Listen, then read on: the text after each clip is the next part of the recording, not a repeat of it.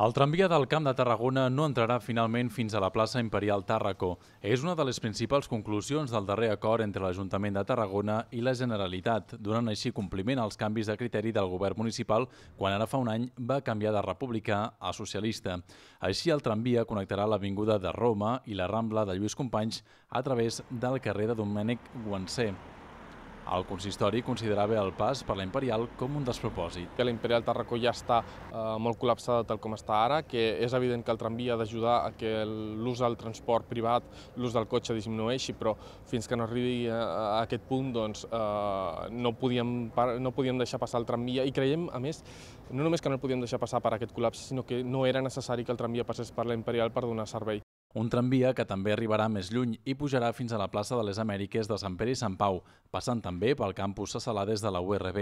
Allà hi arribarà havent circulat abans per davant de l'Hospital Joan 23. Aquest és un ramal perquè l'altre anirà fins al Camp de Mar. Sant Pere i Sant Pau hi havia de jugar un paper molt important. No, no només que arribi fins a Sant Pere i Sant Pau, fins a aquesta plaça Amèrica que donarà servei a la majoria del barri, sinó també perquè tindrà parades a Salades, que, que, que és el, gran, el campus universitari, que per tant eh, també connecta els dos campus, no, el de Salades i el d'Avinguda de Catalunya.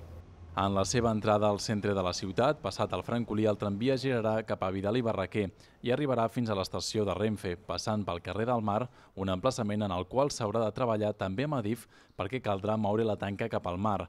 A més, també passaria per la plaça dels Carros, un fet que el port ja preveu si finalment es quede amb la titularitat de l'espai. Als barris de Ponent també caldrà acabar de definir com es desdoble la infraestructura. Està clar que de discórrer per l'N340, però quedarà tancar com passarà per llocs com Bonavista, l'Anella Mediterrània, Camp Clar o Torreforta.